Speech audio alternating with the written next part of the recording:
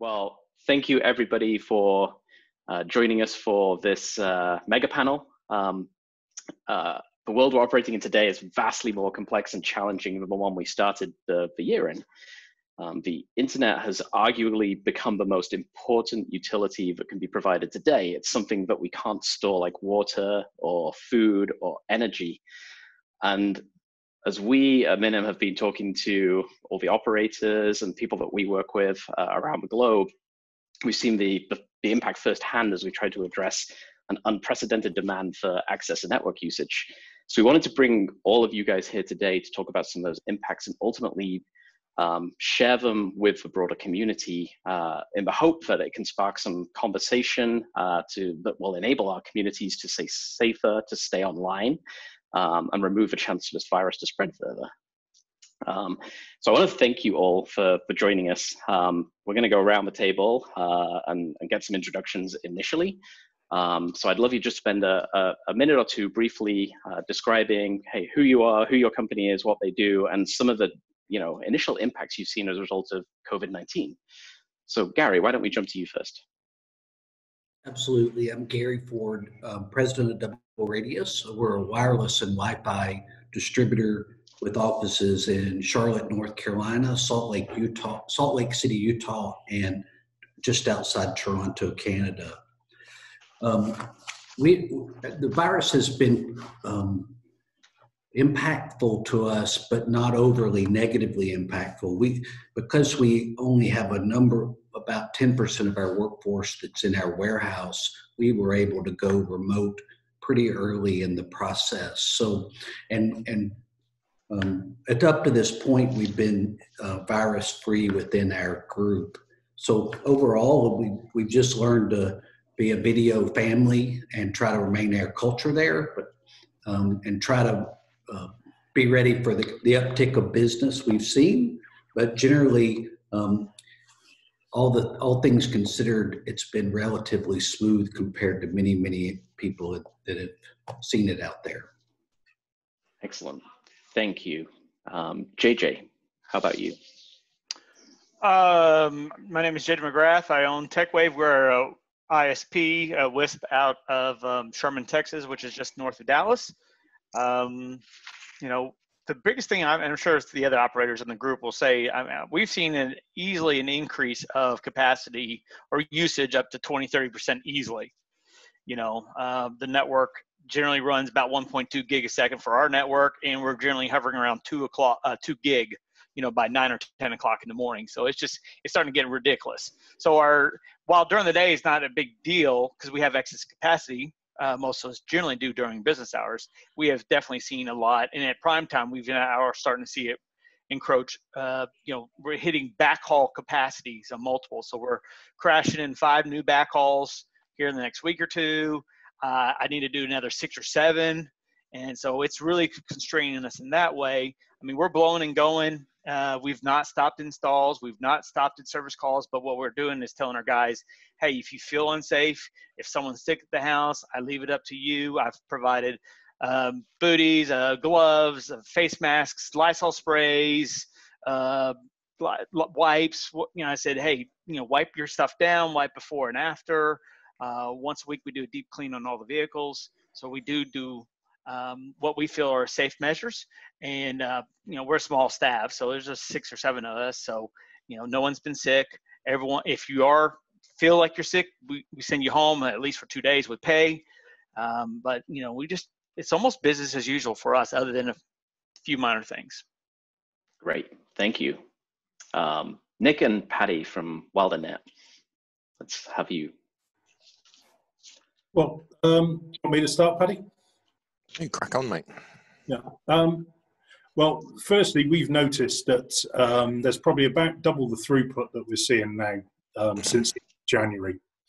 Um, not sure whether things are massively different over here in the way the UK and the US are dealing with things, but what we've got is we've got a scheme over here where basically um, companies can furlough their staff when they close the businesses. And if you furlough the staff, what happens is the government pays 80% of your salary up to two and a half thousand pounds per month.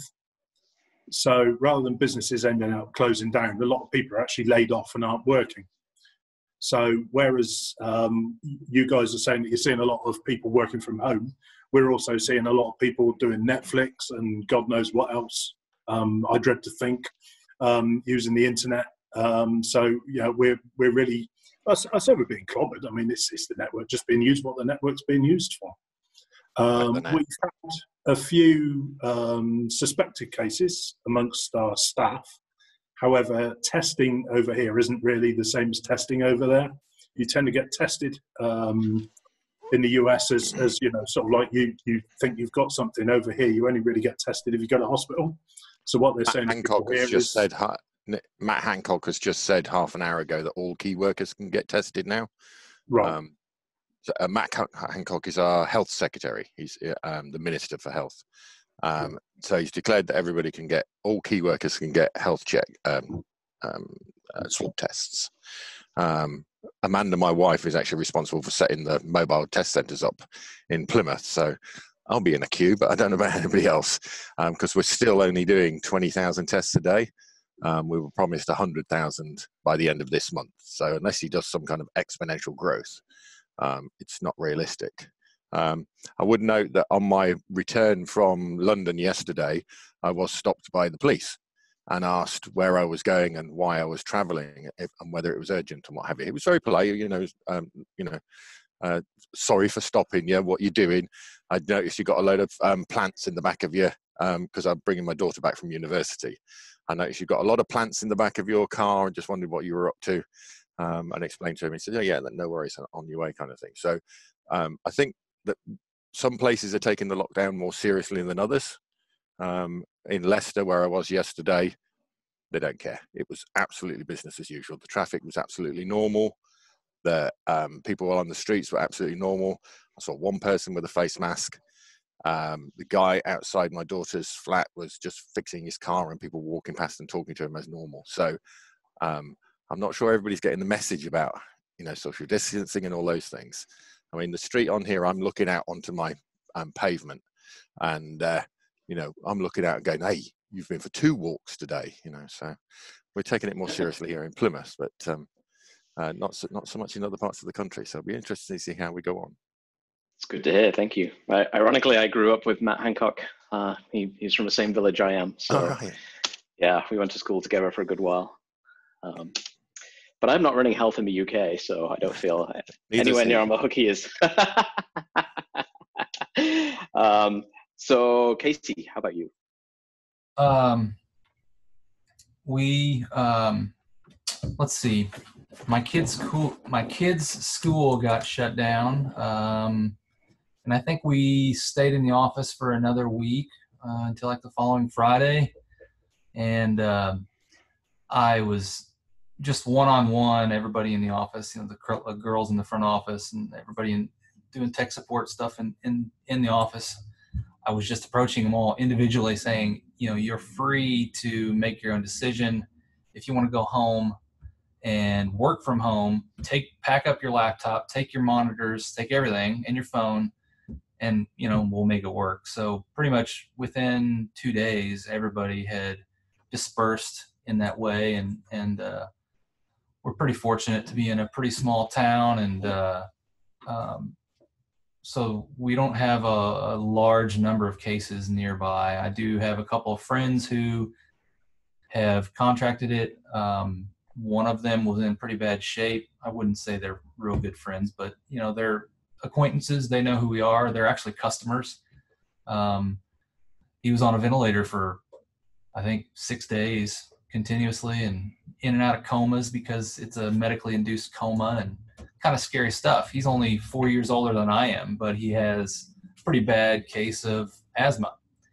And one of our main office girls, Amber, she has asthma. So once we realized these pre-existing conditions were going to be a huge concern, we we really we really you know committed to sending everybody home and and sticking to that. Um, the installers, we've got three guys, three installers who, uh, you know, uh, at the same period of time, we decided to uh, discontinue anything in the home. If we were able to do service calls, we would do them, but we weren't going to go inside the house. If we if we went to the house, it was only exterior work only. So we canceled, postponed all of our installs, all of our inside service calls, and just you know basically said we're sorry, we're we're just not sure what's going on right now. We don't want to put ourselves or you at risk. You know, these installers are going to six different houses every day. It just creates a big a big risk for carrying something from one house to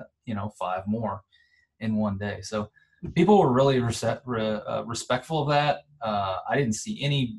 Well, I take that back. There was a couple of people who said they don't care. They it's not it's not. They they wanted the internet bad enough that they were willing to risk it. So. Um, We've not stopped see. any installations. Has anybody else stopped installations? Well, we did for a period. We're back to working now. Um, we've just done exactly what JJ mentioned, and you know, outfitted everybody with gloves and booties and and you know everything that they need to be able to do the work fully inside the installs and and those things. But we've also given our installers the discretion uh, to not go in the house if somebody's hacking away and and acting sick or acting weird. Then we're not going to risk it. Yeah, that makes sense. So I think that's a that's something we're going to come back to shortly and talk a little bit more about installation and service calls. Um, okay. I'm going to quickly jump to your colleague Sean. Um, Sean, can you just give a little bit more background on Airlink as well and where you operate and how many subscribers you cover? Sure.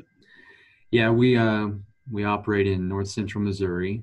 Um, we're a fixed wireless and most recently fiber internet company with VoIP, um, managed routers. Um, we handle a lot of things dealing with that, and we have about uh, 2,000 to 2,100 subscribers currently. Um, hopefully, that number will grow once fiber gets going, um, ramping up. Um, we're really excited. We got um, a fiber project in one of our counties that we're building out. Um, as far as the yeah, the access to the home has been our our main struggle um, during this time, and we've been trying to ramp up our our bandwidth capacities to those towers that we knew we needed them. So when we were not doing the installs, we were focusing on on upping those um, backhauls, getting them where they needed to be, and and um, able to have the increased capacity needed to to provide for the customers that were going to be staying home and using it more often. Great, thank you. And Micah, how about for you at, at over at Isotech? Um, what's happening there? Yeah, so so I'm Micah with uh, Isotech and KCCoyote Network Administrator. Um, service the North Kansas City area. Uh, we have some other uh, branches out in Carroll County as well, where we service a little bit closer over near those Airlink guys, actually. Um, and so we, uh, our biggest things that we've seen have been uh, getting equipment in supply. That's definitely been something. Um, we we were a little bit late uh, to the game of managed Wi-Fi in the home, um, and then we jumped on it. We loved it. We were pushing it really hard and then sure enough uh, what we chose to do started slowing down on supply for for some of those options that we went in that route. So we've definitely seen some equipment um, shortages that are starting to impact us when it comes to installs and equipment needs. Um, we are not letting that stop us from doing installs. It's kind of created some need for alternatives uh, which we're which we're exploring and using um, but mitigating it you know slowly as it goes learning you know where our supply can come from and and see if we have some different options um, minim's definitely helped with that. Um, and then really the second big thing that we've seen is definitely just the bandwidth demand. Um, we have uh, I, we actually just uh, looked up some numbers today to make sure we were looking at it about right. Um, our bandwidth demand is has increased on average for a, a 30 day period from uh, really before all this started, we've had about an 11% average growth in bandwidth utilization. Um, and we have, when we broke it down to like the time of the day, our peak hours are somewhere between 20 to 30% increase, but our non peak hours, so that 8 to 5 a.m., which for us, at least based on our demographics, was not peak it was our lower time of the day we've seen anywhere from 60 to 80 percent increase just during that window of time um, and that's probably similar to what i guess most of the rural areas, especially people who have a good uh, workforce that's that's been pushed home and and all the schooling and the children that have come home. So those are kind of the biggest things. As far as business, uh, we have an increase in inquiries, um, and that's that's come from the need that's been pushed to home. Um, so we we are not seeing a shortage of of business by any means. Um, we're definitely addressing things. I think in a very similar fashion as Airlink mentioned that we're we're you know our techs are um, being properly equipped, uh, given the ability to make decisions um, based on their own safety.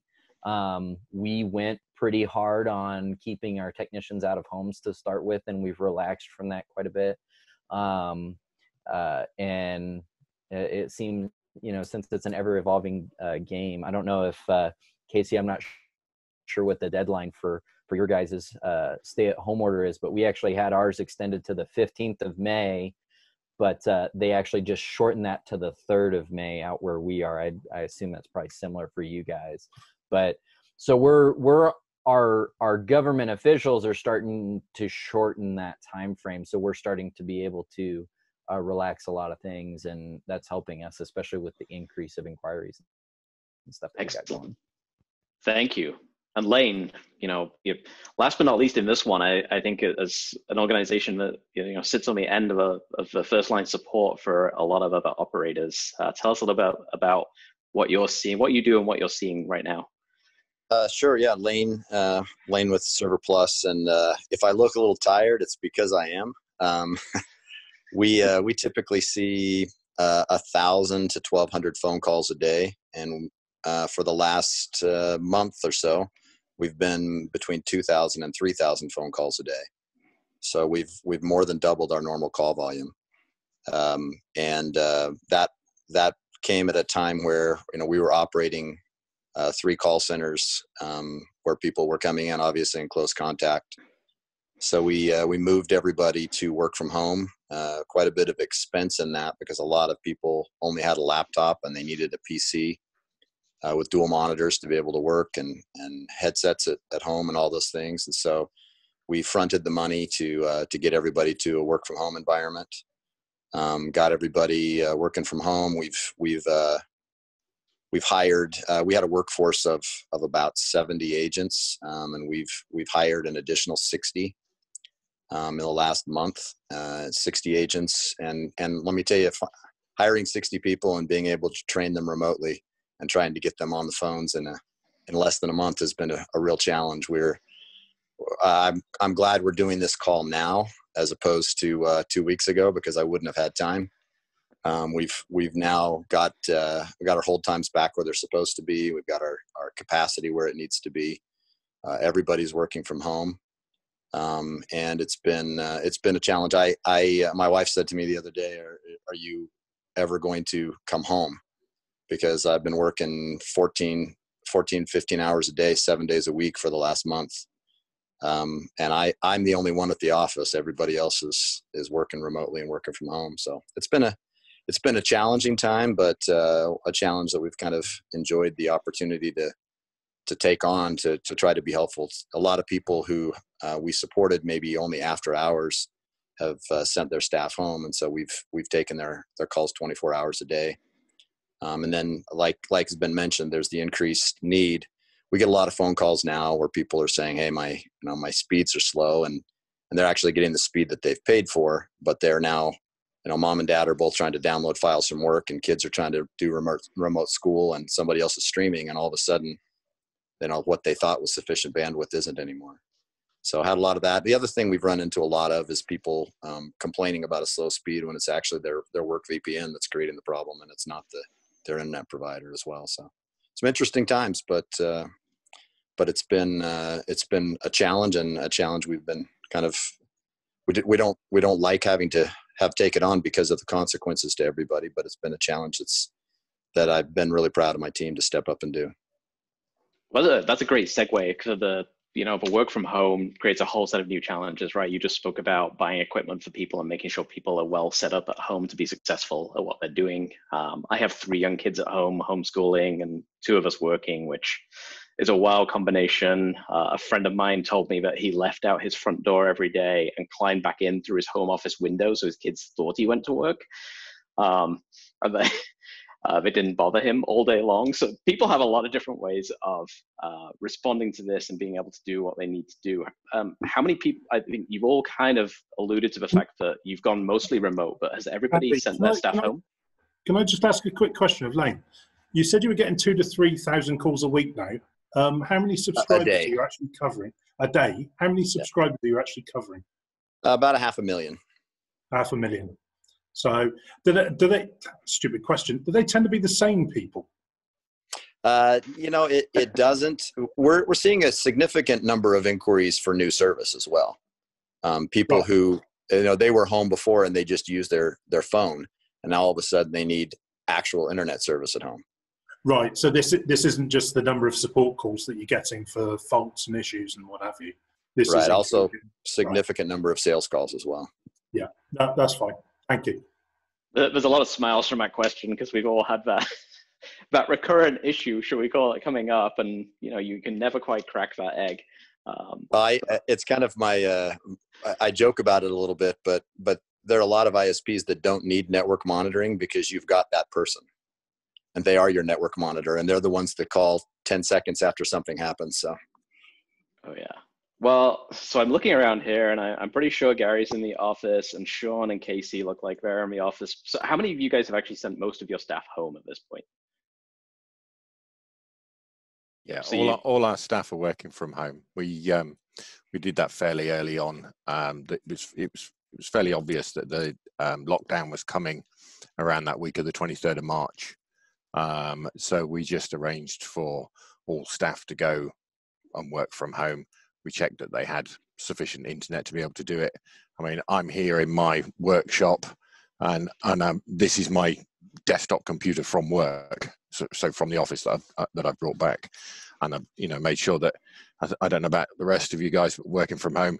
It started off on the on the sofa, um, and then there's a point where you go, no, I've actually got to get a proper chair, you know, so stolen the office chair as well, and and have to sit comfortably for the day rather than watching telly while you're quite you know while you're um, working as well. So you've had to make that mental change as well. Oh, absolutely. And how? So, I mean, eh, for anyone to jump in here, but you know, the the working from home. I, I said it. I have three kids at home, and they're very young. They need a lot of help with their schoolwork. That is clearly having an impact on all of our businesses. For those staff who are needing to work remotely, how are you starting to deal with that? What what flexibility are you adding? You know, I'd love love to hear from anybody here. You know, uh, from our perspective, we started about a week early doing the video calls because our culture is real uh, social in our business.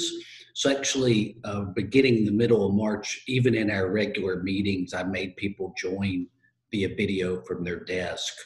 And then when they went home, we all agreed that we had a no bullying policy. And while that's kind of fun, the pers- perspective was we kind of welcomed if your pet came in or if your kid came and bothered you or you were wearing a hat. And there's been stories about people getting up and they're wearing their bathing suit or whatever. And I think from that perspective, we we have been lucky in that that really worked for us. And even, we've been able to do sales trainings much more effective this way. People are more engaged. And we've done training on PPE as well, so you know we've. we've uh, Well, there you go. and, we, and we did provide masks for all our employees to use socially, and, and it's it's made a big difference just being able to have everybody comfortable and get our eyes on people as much as possible. Yeah, we had that else? policy fairly other kit meetings, making sure that the directors keep in touch with all of the staff and make at least a call a week to everybody visually as well. Yeah. Well, how, how are you guys feeling about morale as well within within your employee base? Do you you know is that generally good? Like, what what are people struggling with? Like, what's the general feeling there? Uh, from our perspective, um, and our people have been uh, have been really they've been great about it. They've been they've uh, they've enjoyed being able to do it. A lot of them, you know, we have we require a quiet work environment. We require they have a private room that they can work in. Uh, we require that that uh, they have certain internet speeds and certain computer uh, capabilities.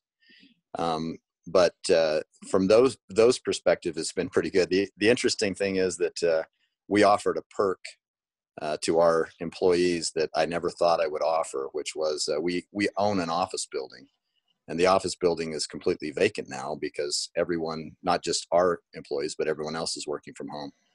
And so uh, one of the uh, one of the perks was that you could come pick up as much toilet paper as you wanted because we had it in the office building. So uh, there was there was plenty of toilet paper and uh, lots of hand sanitizer. So our, our perk was free toilet paper and hand sanitizer. Which, if you Right told perk at the people right three time. months ago, if you told people three months ago that was going to be your perk, they, they'd have laughed at you. And now, Absolutely. it's uh, it- it's interesting because uh, so at Minim we, I mean, we went remote in March and we've we've stayed remote. Um, but you know, as I think about, you know, one of the things we've always talked about is how a lot of you guys are on the end of now managing people's Wi-Fi. Right? You're not just an internet provider; you're a Wi-Fi provider.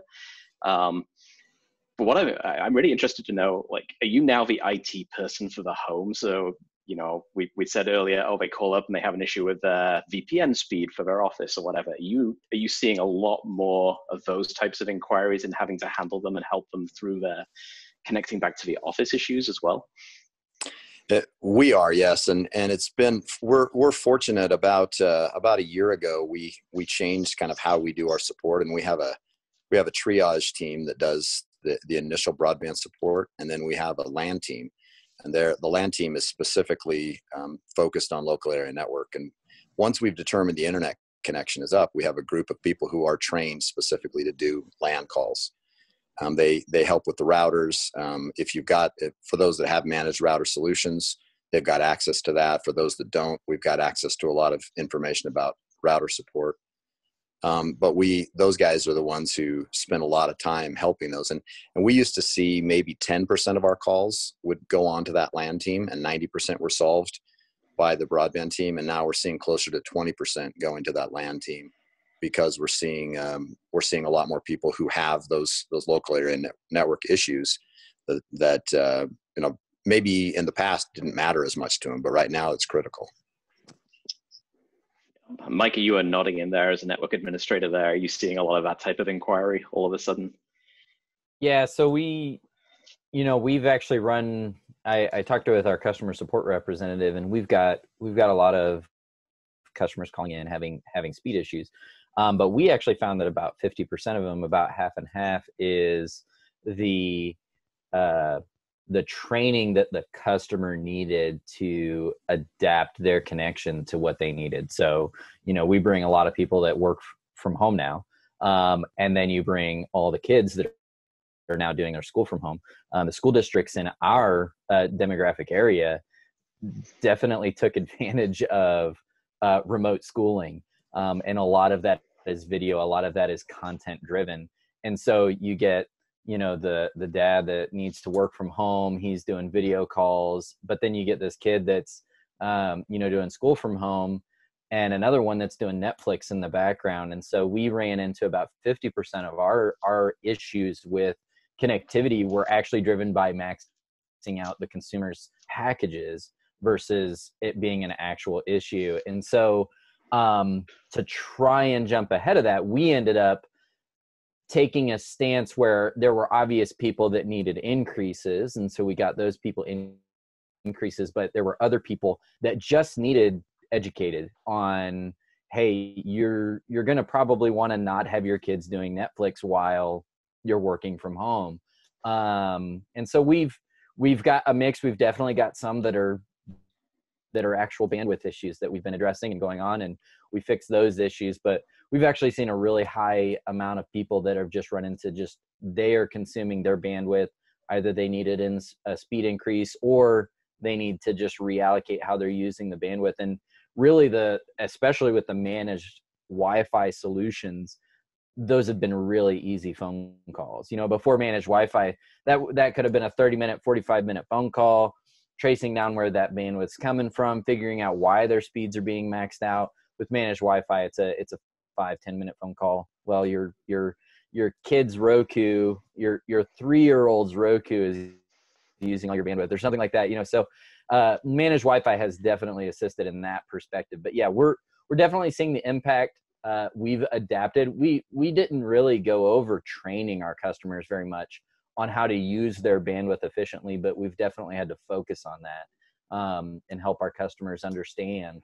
um, that there's there's ways that they can uh, modify things and prioritizing things can help in some ways. But when you just have 30 people now getting on the internet that weren't using it before, it's definitely something that educating people has helped. Excellent. And I, so, I mean, I, I, think most of you guys have talked about capacity issues and throughput issues. Uh, you know, the the Wildanet guys, uh, you know, deploy typically via LTE, and we hear a lot of challenges right now in terms of you know capacity on towers and those networks being overloaded. Are you guys? I mean, it sounds like you're you're already you know slamming in a lot of new connectivity, but um, are you thinking we're at the peak now, or are you planning for further capacity um, in case this continues? Yeah, we're putting in a um, uh, one of our main backhaul links is a five gig link. Um, and we're now putting an 80 gig link in to back it up as soon as possible. It was something that we'd planned as the upgrade path anyway, um, but um, this sort of accelerated that rather than, um, you know, leave it to natural customer growth was what. Was that's a that's a large step up as well. I mean, JJ was talking about very similar stuff. I mean, huge capacity upgrades as a yeah. as a result of this. Um, if, if I'm going to spend six grand, I'm going to get a nice toy. So yeah. and I'm, I'm, kind of interested. I mean, you're you're watching your traffic.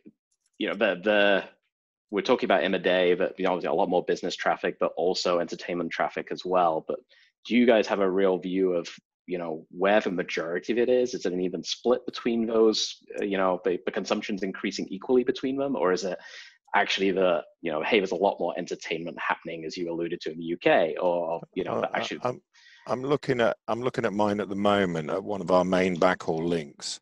Um, and it's it has the normal you know more in drop off about midnight and then eight o'clock then it comes up and it's peaking at midday and dropping off into the evening. So that's what we're finding um, so it's obviously work and entertainment traffic turning to only entertainment traffic in the evening. Yeah, makes sense. Do you uh, do you think that the moves from people like YouTube and Netflix in terms of reducing quality, um, I mean, they, do you think they they helped? Yeah, considerably. Yeah. yeah. Fantastic. What else could they do to be helpful at this point? Do you think there's more that they could step uh, up and uh, do? No Microsoft updates, no game updates. That'd be nice. Um, Animal Crossing could pack it in for a little bit. That'd be nice. that's that's kind of interesting. The, the Windows update is one we hear about pretty regularly. What about peer-to-peer traffic? Is that still is that still a challenge? Has there been an increase in that? We haven't seen a particular one apart from my house. Um, we'll edit that out afterwards, Paddy. Don't worry. Uh, so um, for those of you putting putting people into into homes, I mean, obviously you've got field tech teams who have to come and get equipment and then potentially go into people's homes and do installations and service visits and so on. Um, clearly, they're they're still happening. You talked a little bit about the safeguards, but how are you? You know, what are you doing in your your warehouses or office locations to you know ensure that everything is is safe for the employees? How are you protecting them from that perspective? So I mean, I I guess I'll start. We we went pretty uh pretty strong to start with. We run two man teams for our technicians.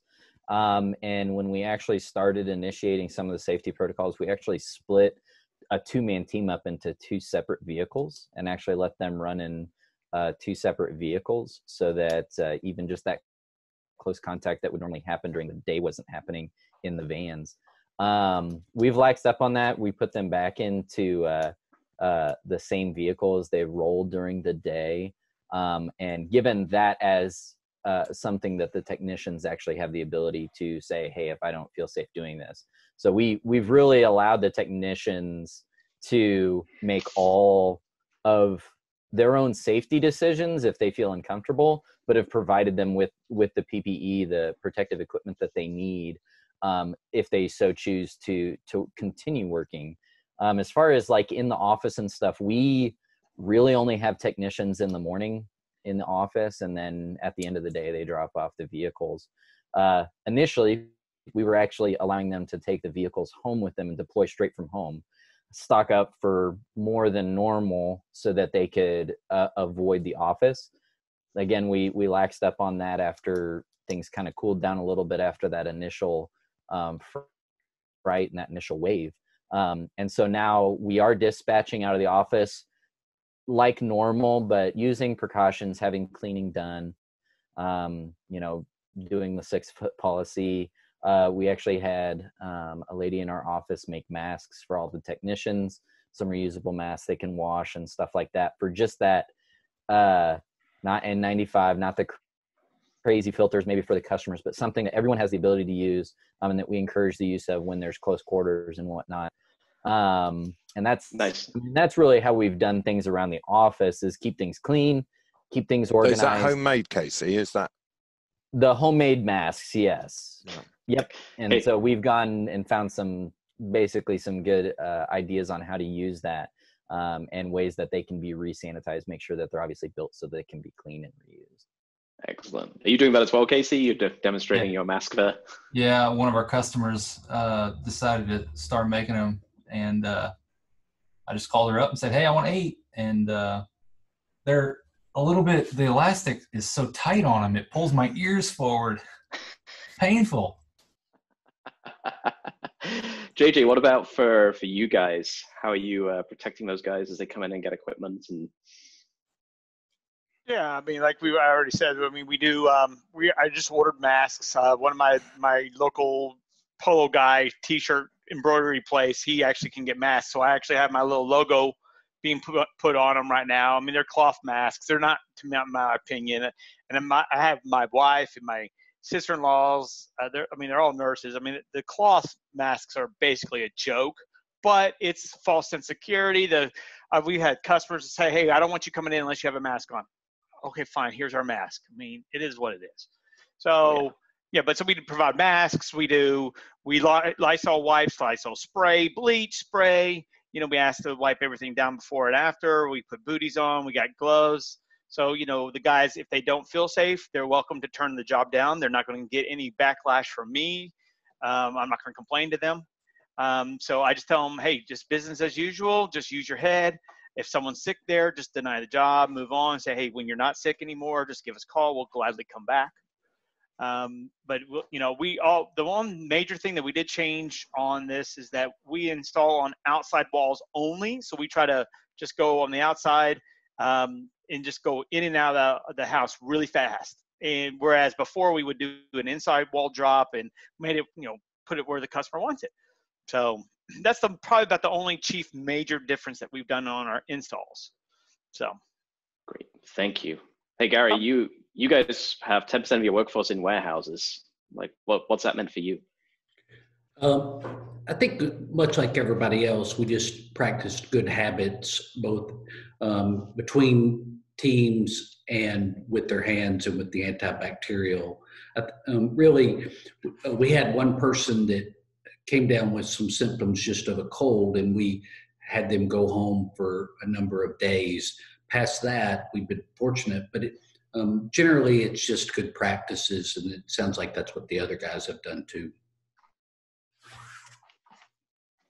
Yep. Anyone else doing anything exceptional on that we front made to help? we made sure that our um, two two main installation teams can't meet each other.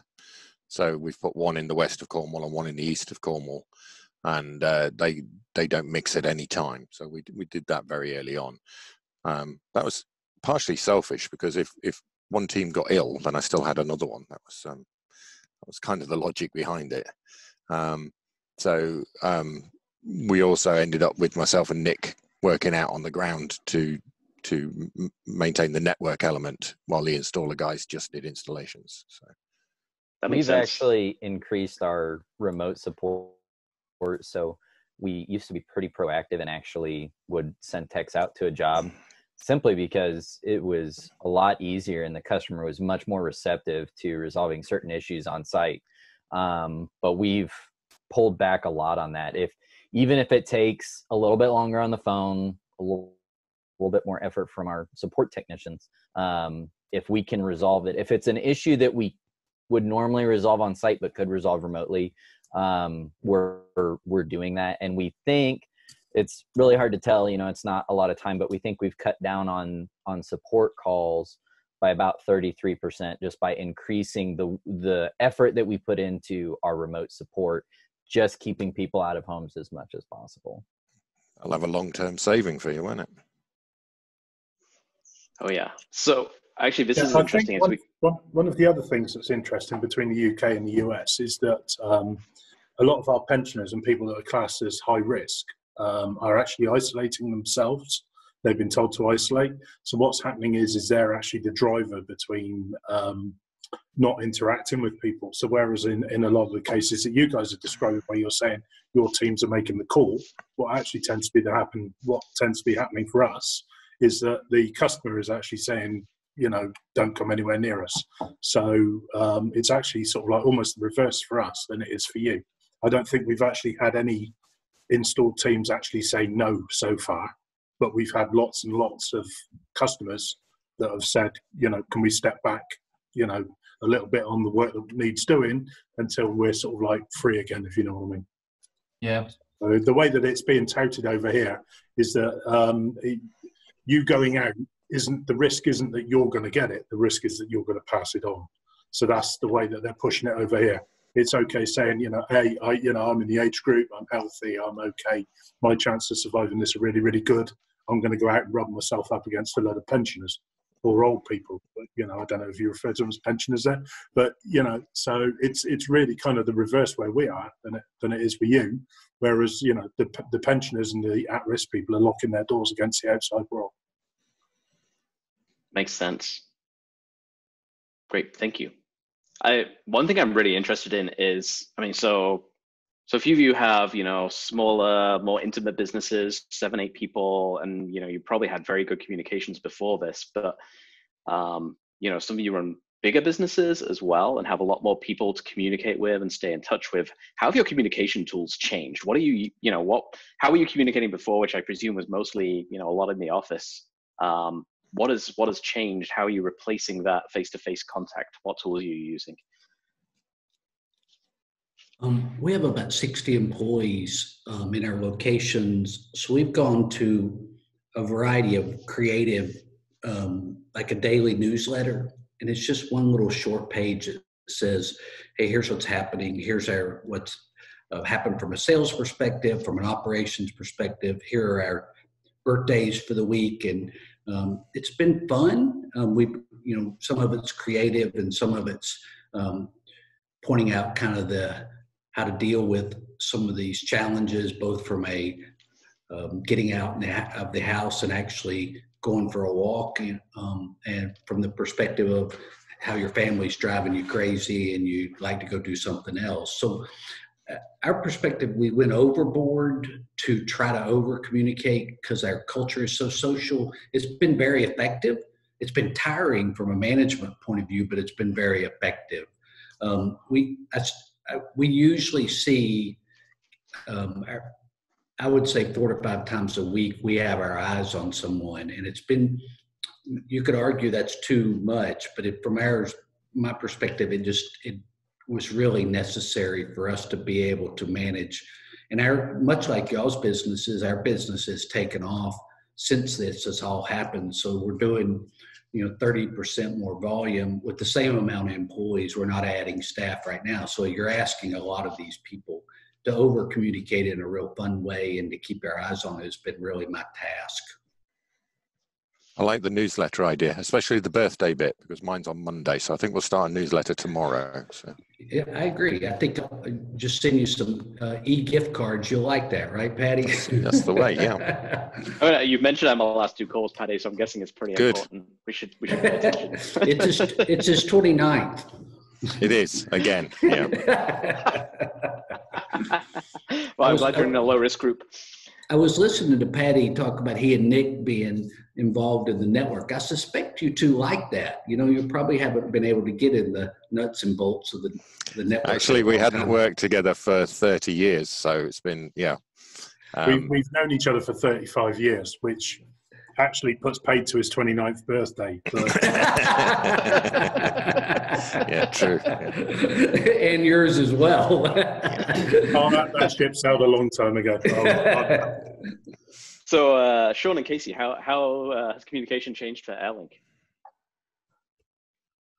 Well, uh, we we have a daily Zoom call. We, we're a lot smaller group. Uh, the in-office group, you know, the CSRs and uh, and Sean and and Daniel, who's another key employee um, in the CSR group. Uh, we all get together on a Zoom call twice a day, actually, um, and uh, that seems to have kept everybody together. It allows us to kind of joke around about certain things and um, band together. I've missed more than I've been a part of, but I know everybody else that's um, been a part of them.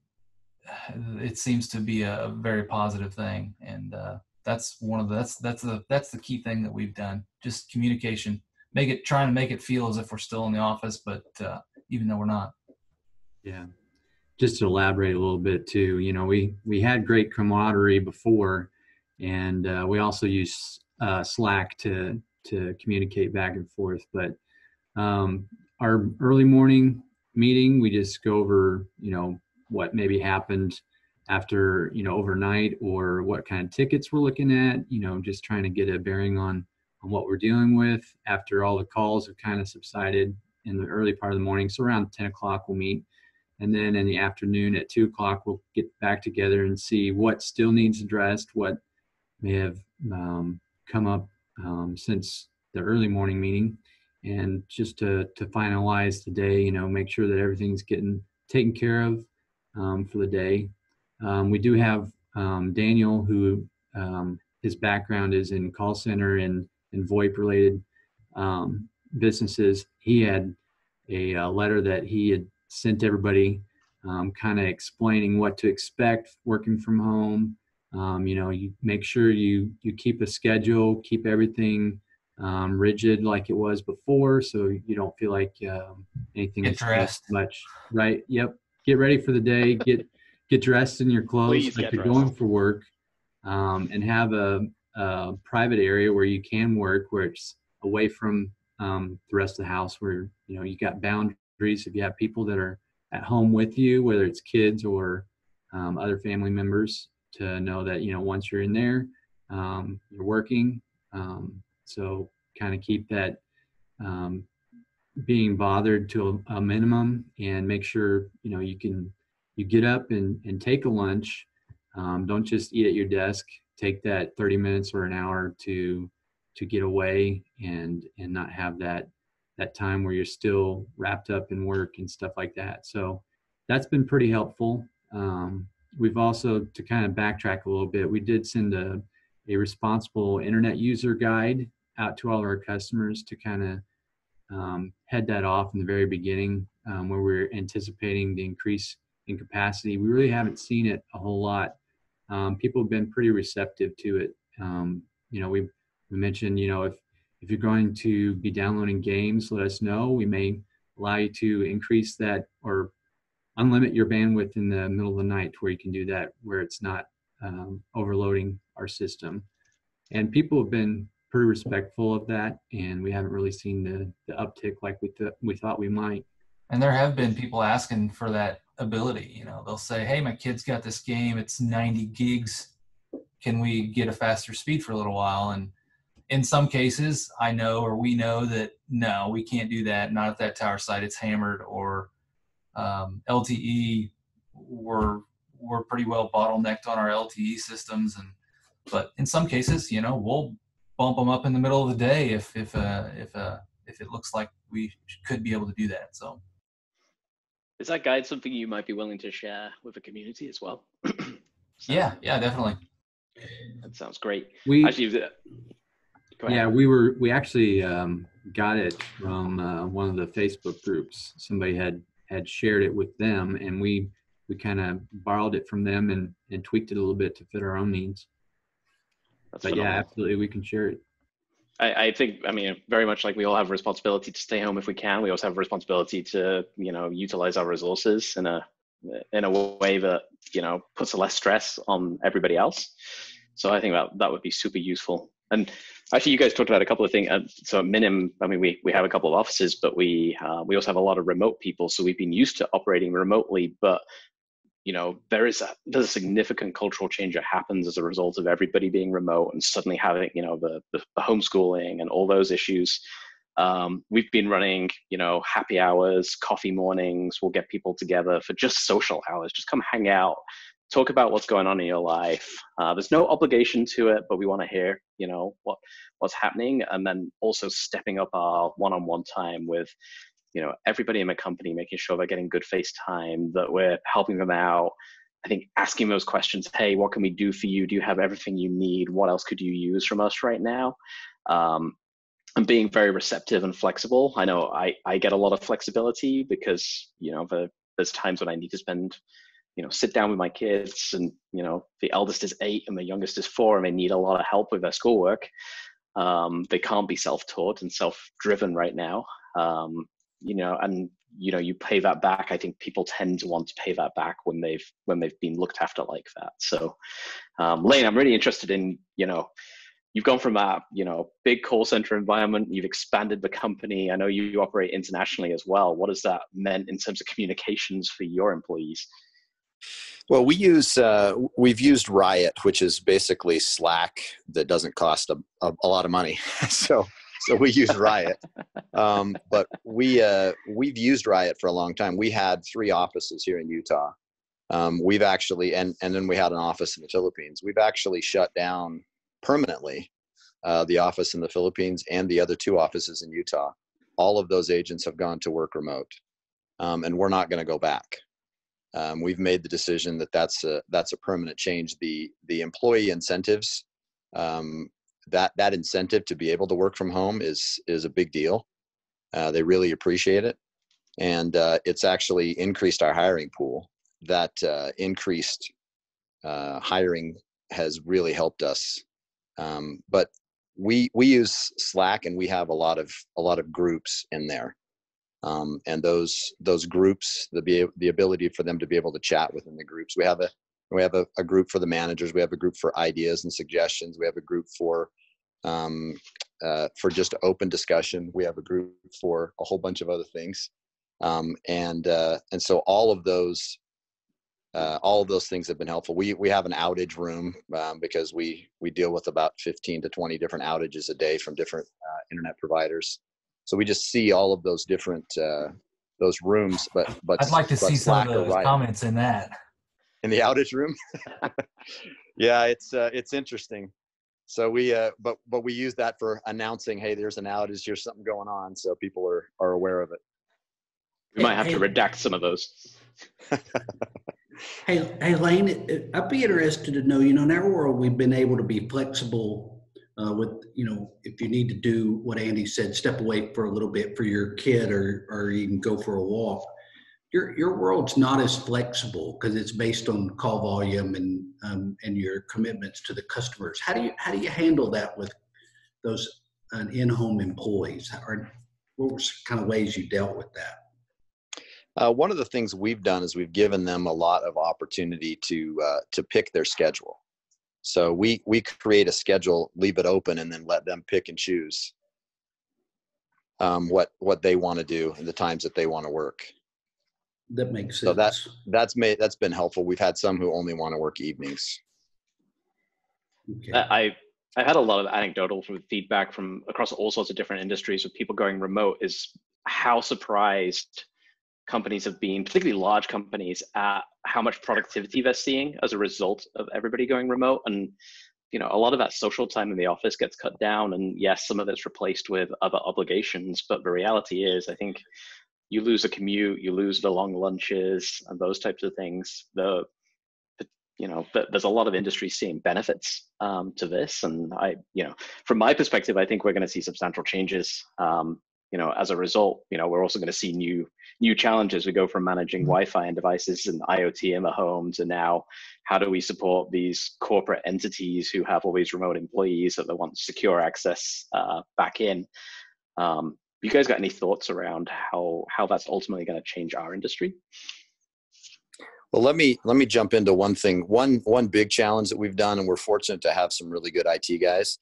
But uh, with the number of people that we have connecting, we've had to put up multiple VPN servers.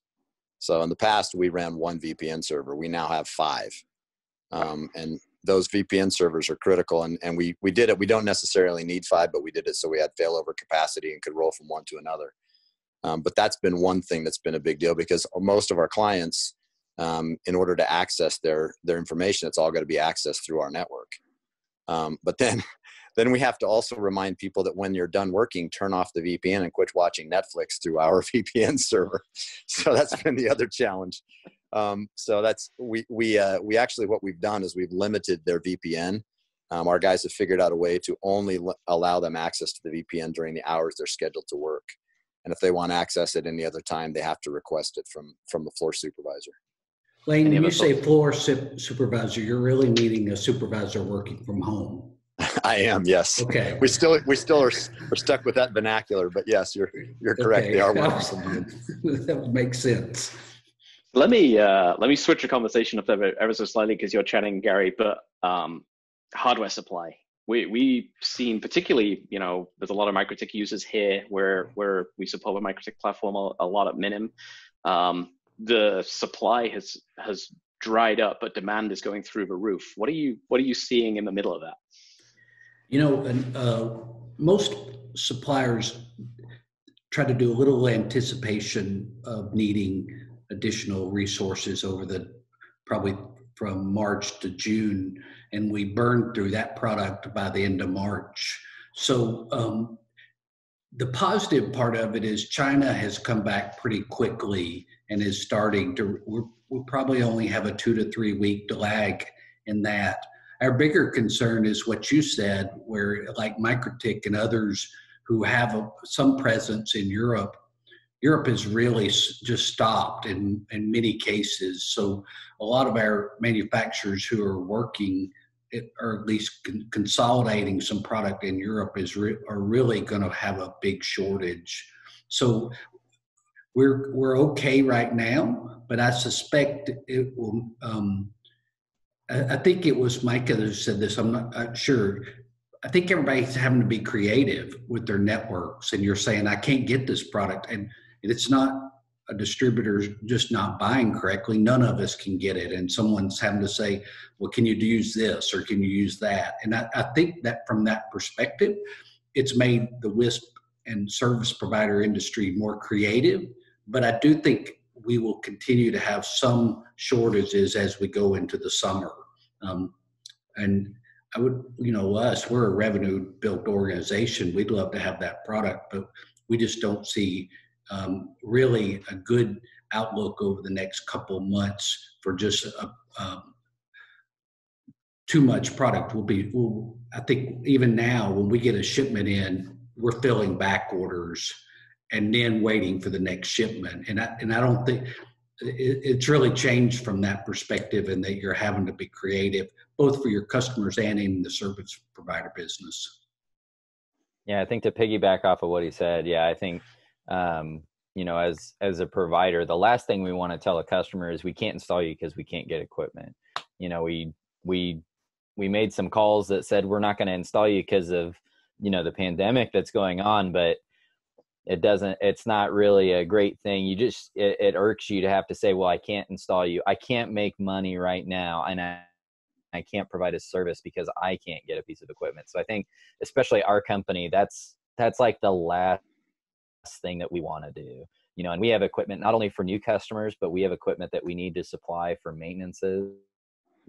Um, so we're we're ordering more at a time. We're trying to stock up because we don't know when the sources that aren't dry yet are going to dry up. Um, and I think everyone's probably feeling that. We probably have some suppliers that are that are already at that point, and then we have some that aren't, and we're we're trying to take advantage of the of the people that haven't run dry yet. And so we definitely, from our perspective, the last thing we want to tell customers that we can't do something because we can't get equipment. Um, and luckily, to this point, we have not had to say that yet. So we're quite lucky. We um, lucky. Um, we had Brexit coming, so we had a panic buy to put stock on our shelves because we didn't know what would happen to our borders. Um, so back in March last year, I actually drove over with a big Mercedes Sprinter van and filled it up with stock from the Czech Republic, um, um, MikroTik and Ubiquiti kit. And we kept that stock level pretty much the same. We're sat on um, a little bit of LiteBeam still. Um, we're starting to run low on MikroTik kit, especially you know haps and hexes and things like that. But we we have some, but um, prisms I've still got boxes of those, and um, beams. I'm not short on, kind of thing. So you want a hap, thousand bucks a pop? Gives a shout. Sadly, as you probably could sell them. There's a good chance of that. I think um, you know we free mask seen... with everyone we, we've definitely seen service providers, you know, I think scrabbling for, for MikroTik, um, looking at alternatives, uh, you know, hey, you know, there, there are a lot of alternatives that Minim operates on, um, which, which is great, but, you know, we're seeing supply chains dry up everywhere right now. So, I mean, how long can you guys all keep installing before you actually run out of, of equipment? Do you carry a month or two of inventory typically, or are you, are you much more just in time? from the Brexit, we've been keeping a month in stock. Um, on the 4G kit, we have 35 left. That's and that's us. That's probably three weeks. Month three weeks. Airlink, can you you still good? Yeah, we we've been pretty good. Our um, supplier has been keeping us supplied pretty well. Um, we the only thing it depends on maybe um, certain models of stuff. I know MikroTik HAP ACs, the 962s, we've been short on a little bit, but um, we haven't really seen any other shortages on any other equipment. So we kept pretty well stocked. And I like to keep um, at least, you know, router base probably 20 on hand um, in excess of what we have. And then um, Ubiquiti stuff, um, usually about a 30 day um, advance to of equipment so that we have it on hand when we need it. Makes sense. JJ, you seeing similar issues? Are you pretty well stocked up? Yeah, we were working on a lease right before this stuff really hit the fan. And uh, so we had just got in several hundred radios, several hundred routers, stuff like that. The one thing that I noticed, noticed that it took almost three weeks to get um, the coordinators to do our FCC links, our license links, and I'm still waiting for our licensed radios to come in. So it's like, God grief. It used to be inside of two weeks before all this, I could have had them coordinated, everything was good, and gone to Dallas and pick them up. Now we're scrounging. It's like, oh, pull from this warehouse, pull from that warehouse. It's like, okay, radios are coming from here, antennas are coming from over here. Like, God bless, this is ridiculous. So well, that's, that's my actually, next question. Yeah. Well, I mean, backhaul. I mean, you you you speak to it. Uh, the the, the same challenges exist in terms of those backhaul radios and certainly stuff on the license spectrum, you know, delays coming in everywhere. Um, you know, that if that's, that's preventing you deploying new customers essentially, right. And keeping the, the networks decongested. Um, what, what, what challenges does that bring in for you? Well, for me, I mean, I mean, what this is hurting, the biggest thing, that, at least when pertaining to backhauls, is that my capacities. I got two towers that are max capacity every single night, so we get a little bit of grumblings. It's not too bad right now, but it's not, and it's not particularly stopping me from adding more people. We just have to be conscious of who we're adding, what kind of user they are, what kind of speeds they're signing up for. That's pretty much it. Um, but I know we can't go hog wild on over here on this tower in the northwest because he's already maxed out. We have to wait till we get his capacity up. But we also gone through and split the traffic through static routing. Say, don't go out this backhaul, go out this backhaul, because every one of our towers has at least two backhauls. Some has three or four backhauls.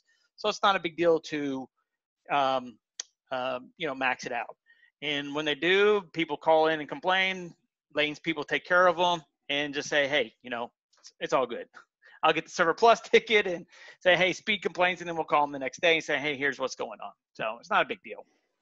Are your upstream providers still providing service? Um, we can't get new um, layer two links. That's not available to us at the moment. Um, OpenReach, BT, um, have closed their order book until June, um, and so there's no new capacity available for us. That's a that's a big issue.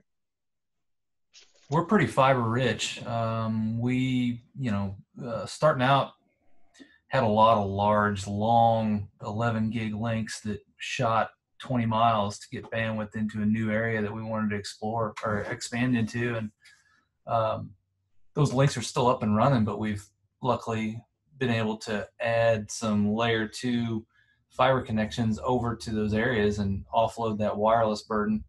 Um, and actually, uh, one, well, two, two of the providers that we use for that off-net uh, transport contacted me and directly with phone calls and said, "Hey, if you need anything, upgrades, new circuits, anything like that, let us know." You know, providers like us are getting that extra. Um, we're the top of the list. You know, we get moved to the top of the list. So we've seen the opposite of that, and it's yeah. been haven't had any issues really.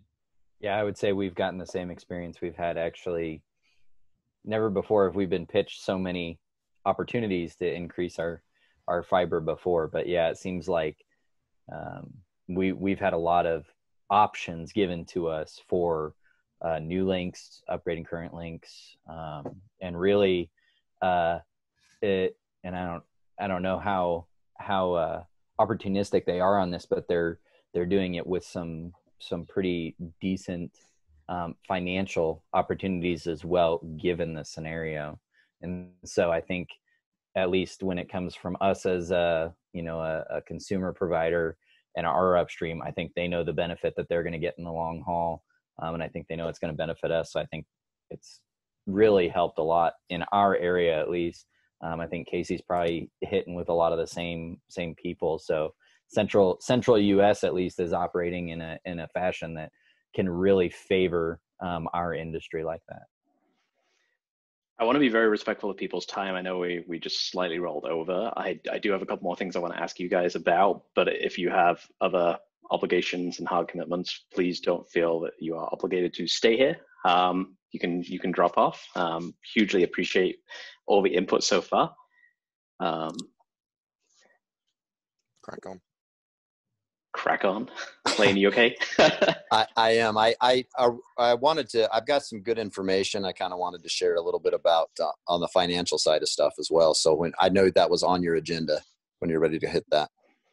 Yeah, well, I, I that would be a great great time to sort of segue segue towards that. So um, you know, I, I think a lot of that is based around you know, but there's clearly been um, some desire to help people get online to successfully transition to working and teaching from home. Um, you know, certainly here in the US, we've seen the FCC open up new spectrum. We've seen kind of money come in. Um, but Layne, why don't you give us a little bit of background on on what you're seeing initially, um, and then we take it from there. Sure. We uh, we went after um, right right early on when the uh, when the EIDL program came out, we went after the the EIDL loans that are available, uh, the economic injury disaster loans that are available through the through the Small Business Administration. Um, they were available. They they announced them like on a Friday, and I and I spent about 30 hours that weekend filling out everything necessary. It was a huge amount of paperwork and everything necessary to apply. And then on Tuesday, they came out with the expedited form that took 10 minutes to do.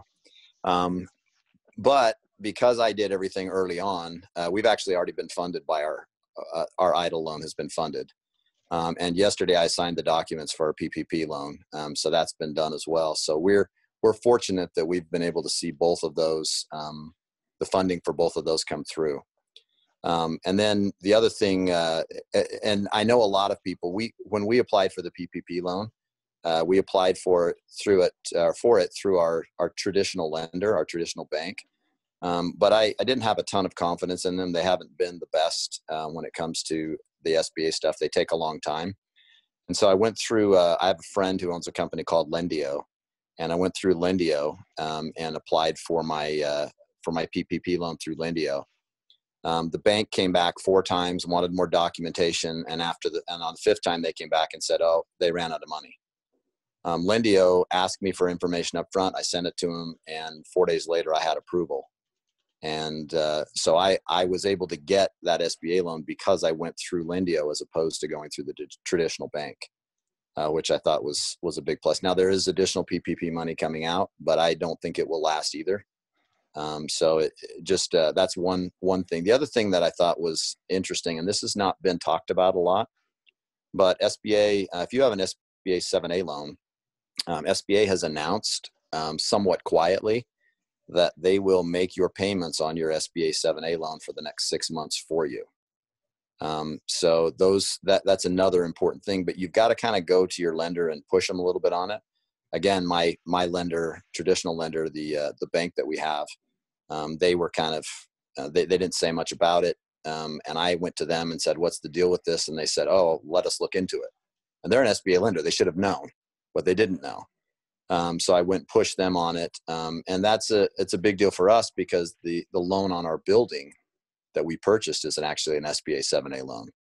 Um, so it's a it's a ten thousand dollar a month payment on our building, and they're uh, the SBA is going to cover it for the next six months. So it's uh, th- those are some just a couple little bits of financial information of things that we've done um, that has that has made a big difference for us. Like I said, we've had to hire uh, we've had to hire 60, 70 people. Uh, we've had to provide equipment for people to work from home. It's been a very expensive undertaking for us. And so this has been a, a huge benefit for us to be able to, to move forward and, and be able to do that. Because for us, we bill everybody um, per call, or most people per call. And so we're, we're, we have to hire everybody, put everybody working from home and work for them for a month before we can start to invoice for it. So it was really going to impact our cash flow. And this has been a, a huge benefit for us but it, it was not, and it was a ton of work, um, but but well worth it. I, have heard similar stories that the more traditional lenders are really struggling with the, the SBA loans and the stimulus packages in general, but the more progressive, uh, newer lenders have been actually very successful in uh, accessing those. So it's good to hear that confirmed and good advice to anybody who's going to apply for that second round of funding that, you know, find a lender who's had success there before don't go through you know that pain of them not knowing what they're doing and not able to get you through that in time. Does anybody else access to any of the the stimulus funding at this point?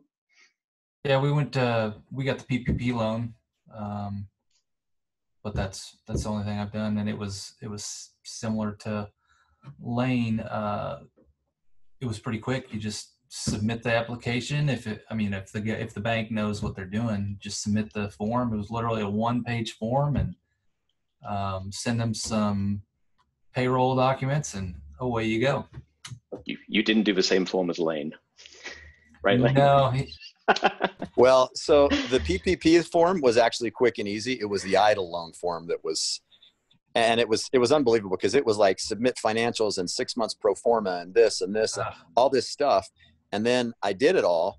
And two days later, they come out with this expedited form that takes 10 minutes online.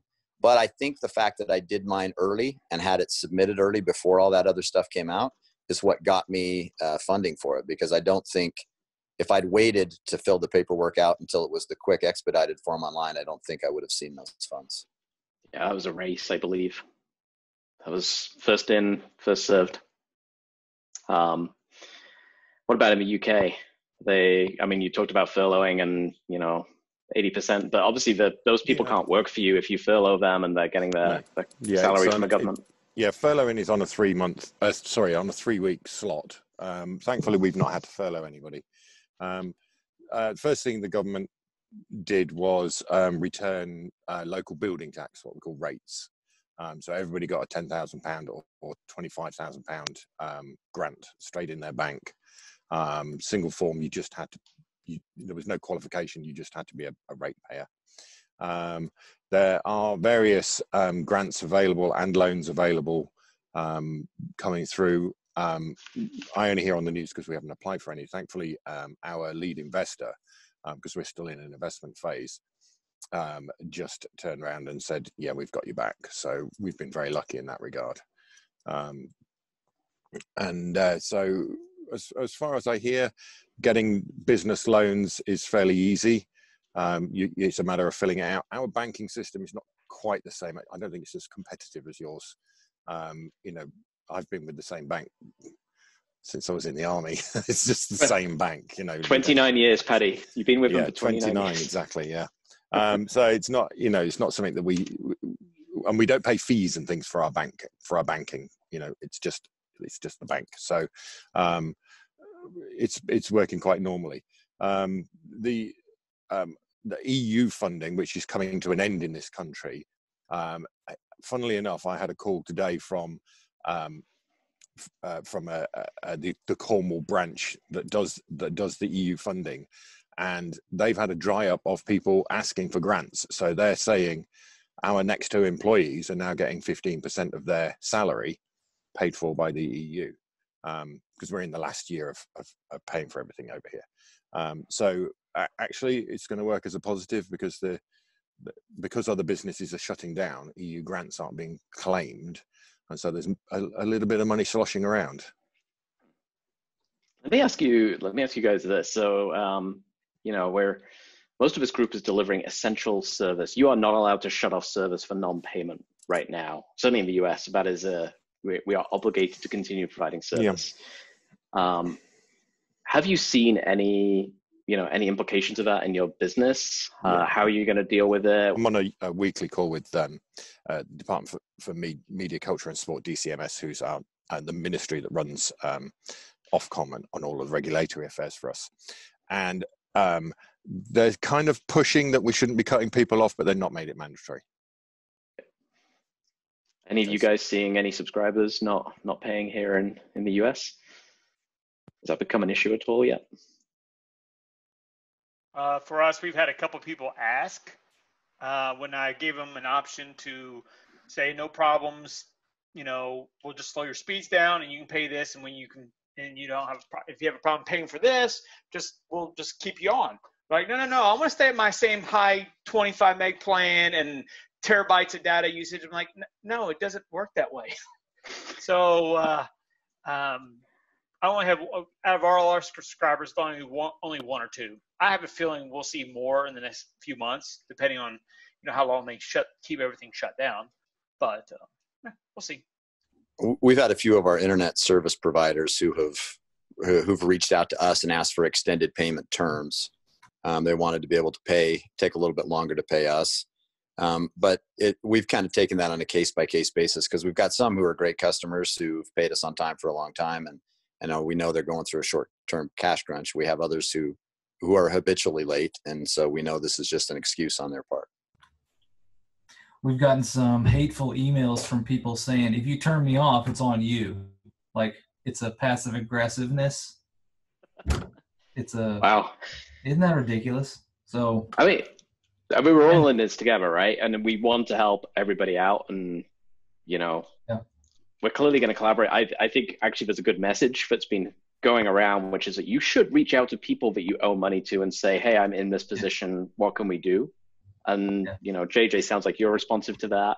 Layne sounds like you've been responsive to that. Like, actually, we just need people to engage with us and say, "I, hey, I, I got laid off. I'm I'm in this position.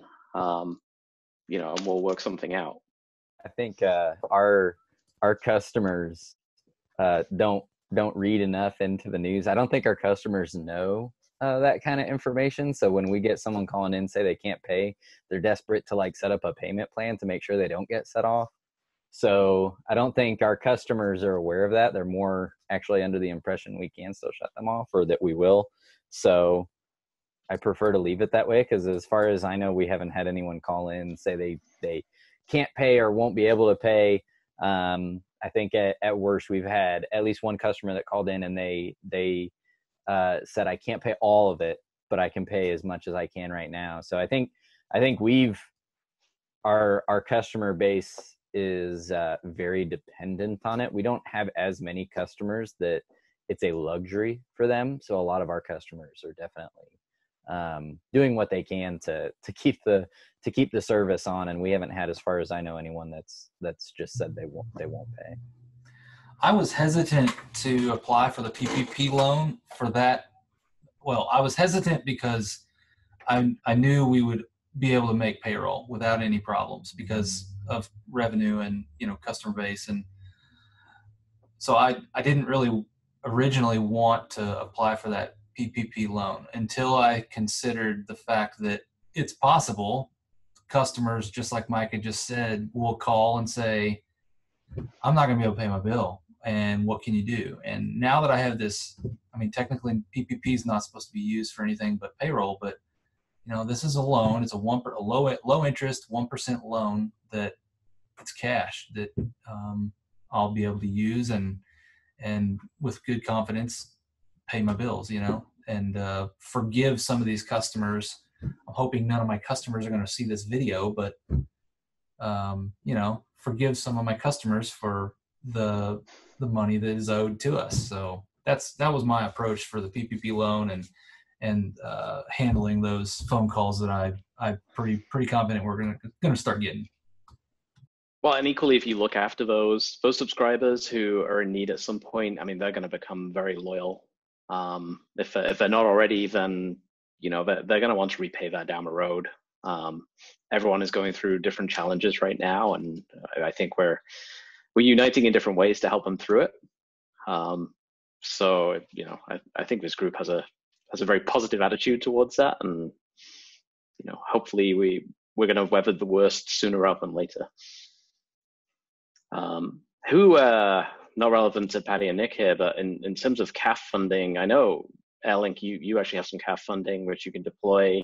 Um, Micah, do you did you get any? Did you do any CAF funding or? I don't believe we've done any of that. Yeah, we we uh, we've considered it, I believe, but I don't think we've initiated anything.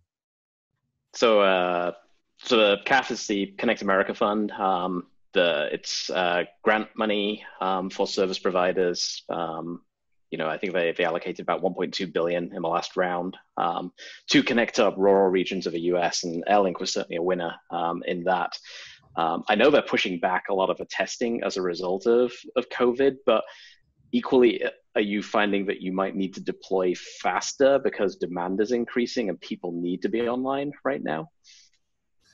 Um, well, we're the fiber guys, uh, the contractors we have hired, they haven't slowed down at all. They're out there every day, um, which it's a, you know, they're not around anybody. They're they're working in usually crews of two, and you know, they're one guy's in the hole and the other guy's sitting on the mini hoe, or they're sitting on a plow and rolling down the road. So pretty pretty safe. We've not had to limit any of that uh, at all. The demand, though, we have.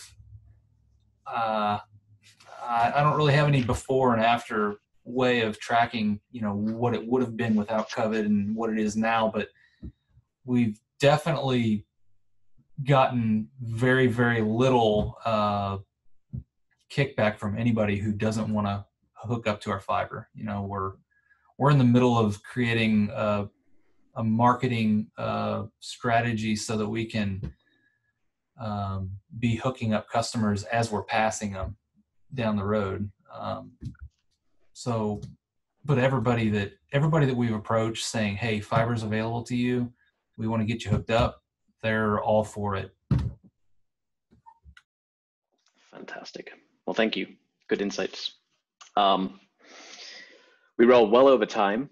Um, before we before we finish up, and I deeply appreciate you, uh, you know, um, continuing on here a little bit. But uh, I'd love to. What is your one one top recommendation for keeping your community and employees safe through all of this? We talked about a lot of things, but what's a what's either one takeaway or one thing you brought into this that you you think is important? And I'll I'll run around my screen quickly and ask each of you, um, and then uh, we'll we'll get it wrapped up. So uh, Gary, how about you? Well, I think the thing we probably preach more than anything is it's okay to be kind of corny or a nerd and wear your mask and wash your hands and do all the things that you feel like we need to be healthy instead of worrying about kind of popular opinion, worry about what you need to do for um, yourself through this process and just give everybody permission to, you know, some are going to be more worried, some are going to be less worried and just being open for all those kind of idiosyncrasies within all of us. Thank you. Nick. Um, if you don't need to go out, stay in. You sound like a politician. No, I mean it, it's it's it it's spread through human contact. You know, if you if you don't need to go out, then you're not going to bump into people if you don't go out. It, I know it sounds really ridiculously stupid thing to say, but you know, um, it's, uh, I mean, it is we, so true we, though. We, we've had this massive conversation right now with ten people spread across the world, you know, and there's no reason why we can't operate like this. I mean, uh, Wildanet, we've recently done everything on Teams. We communicate heavily. Uh, we've got two offices which have three or four people in them at a maximum. Um, we talk to people all the time. Um, we've got in the habit of doing it on a video call as well. We don't even tend to just voice call people now. We tend to video call people and what have you. You know, we we yeah, and, and, and I think you know Layne's point about closing offices and stuff like that. You know, I think this is actually a big wake up call that you know we don't have to sit on each other's laps to be able to work. You know, we we can be productive. In some cases, we can be more productive. So you know, I, th- I think especially during this, I mean, last year you were a couch potato or a lazy git for sitting on your sofa. Now, now you're a social warrior and you're saving the world. You know, I mean, go for it. Great point. I yep. I, I think that transformation is is very apparent and very upon us right now, and it would be nice to to actually continue to build on that and do a more you know environmentally responsible thing and also a socially responsible thing. So thank you, Sean. How about you?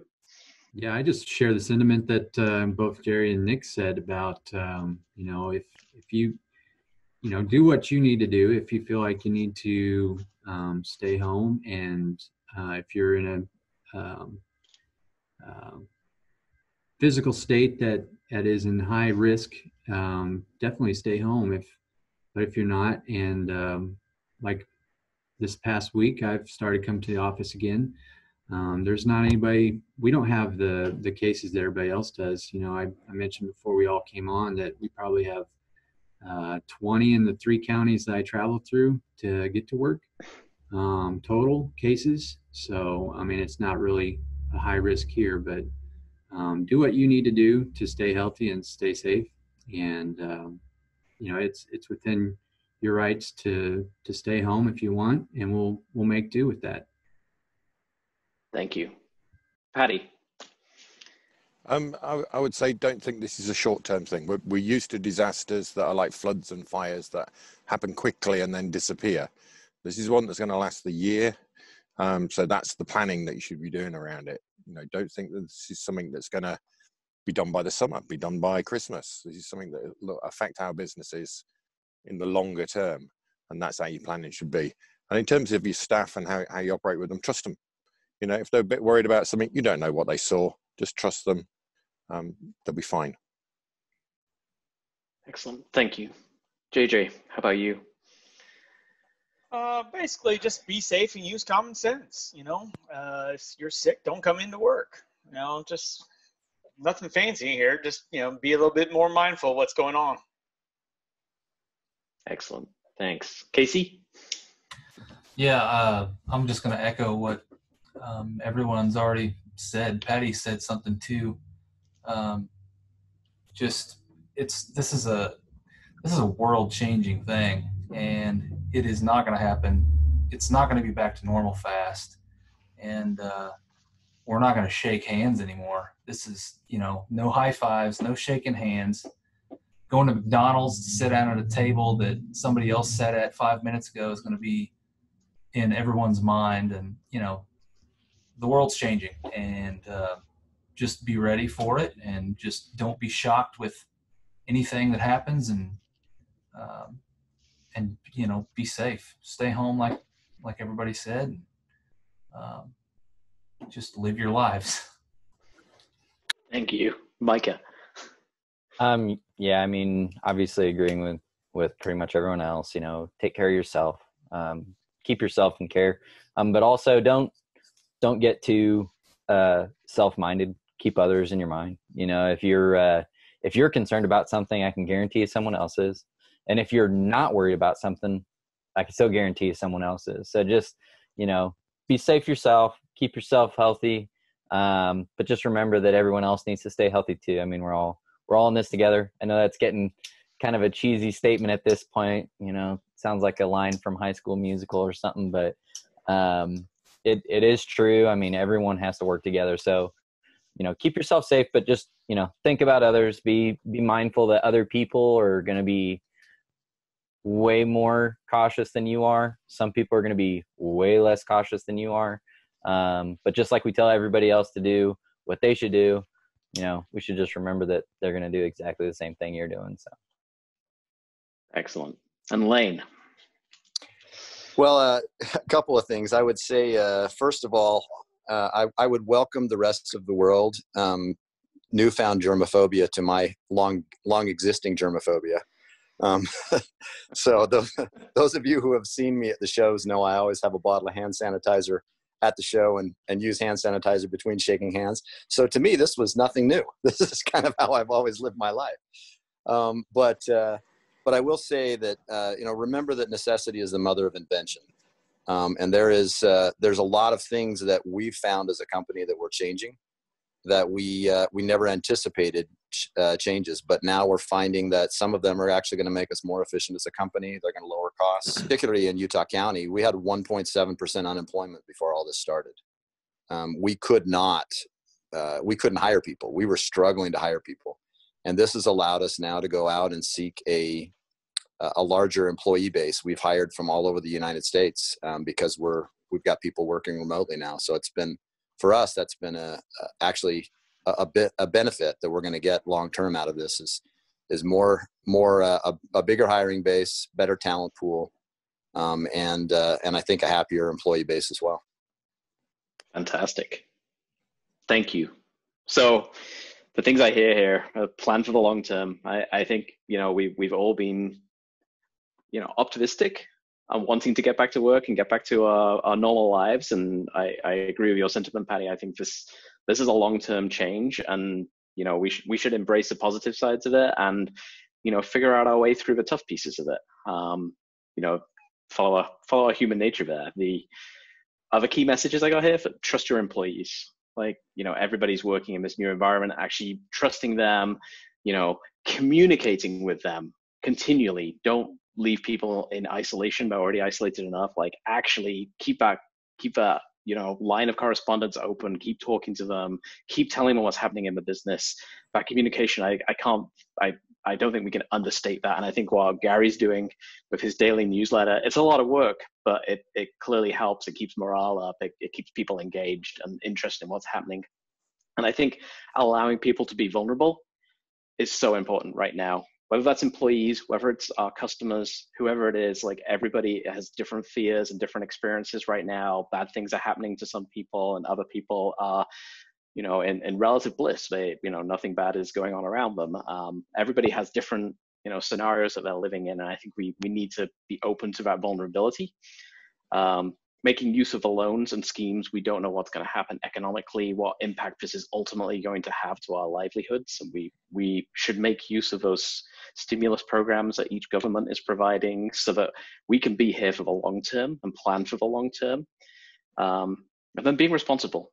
You know, we're being asked to isolate ourselves. Um, clearly it's a, a, lot more challenging for some of us. We have warehouses to run. Uh, we need to go into people's homes and get them online so they can work remotely or get their kids to school. Um, but being responsible around that and it sounds like everybody here is you know working hard to ensure that they are responsible. I talk to other people and you know they they are um, more cautious. They they will they pull back and said, hey, we're not doing new installations, or we'll only install for key workers. That is absolutely fine. But you know, there we do have a responsibility there, uh, not just to keep people safe, but also to help this new way that we're all communicating and all working. Um, and then I, you know, I think Layne just touched on something great there, which is, hey, they're hiring. Like, if you can keep people employed, hire people, like the, there's an opportunity here to to grow our businesses where we are more essential than ever before.